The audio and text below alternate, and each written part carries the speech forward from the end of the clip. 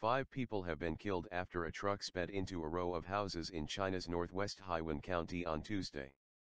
CCTV footage from the scene captures the moment the truck plows into the row of houses, reducing them to rubble. The truck is believed to have suffered brake failure, causing it to speed towards the homes in northwest China's Ningxia Autonomous Region. The impact caused at least three homes to collapse. The driver was killed instantly, while four others died later.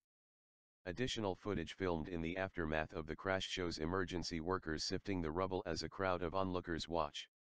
A victim is carried away in a stretcher.